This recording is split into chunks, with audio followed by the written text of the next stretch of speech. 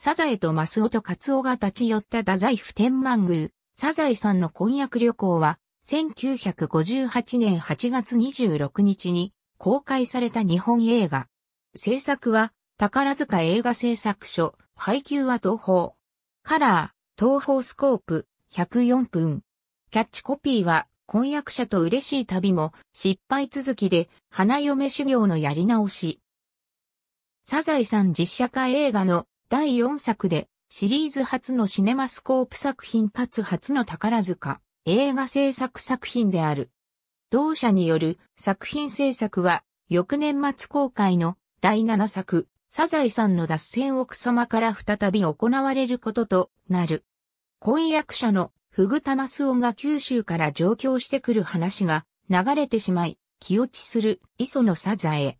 そんな折、若松に住む祖母から祖父の33回忌に来てほしいという手紙が磯野家に届いた。父親に代わって若松へと向かうサザエとカツオ。しかしサザエは法要の夜、酒をがぶ飲みして踊り出したために、おじたちから大目玉を食う。大阪のおばさんの旅館で行儀作法を教えてもらいなさいと叱られて半泣きになっていたところ、休暇を取ったマスオがその場に現れる。サザエとカツオは、マスオの案内で九州の名所巡りを楽しむが、サザエは、その最中、マスオが下宿先の娘で、宝塚歌劇団のメンバーでもあるエツコと談笑しているのを目にし、がぜん面白くない気分になる。その後、東京へと戻るサザエとカツオを見送りに来たマスオは、サザエに近々大阪に転勤になると告げる。カツオと一緒に帰路に着くサザエであったが、汽車が大阪に止まるや、いなやそのまま途中下車して、おばの旅館へ行き、マスオが転勤してくるまで、そこで働くことにした。そして別れ際の言葉通り、マスオは大阪へ転勤してきた。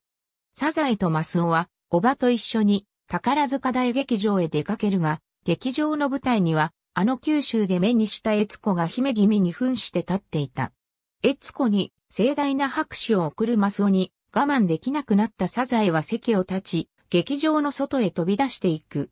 驚いたマスオは、サザエの後を追い、僕が好きなのは、サザエさんだけだよと言いながら彼女の指に、婚約指輪をはめる。参考文書、キネマ順法213号。ありがとうございます。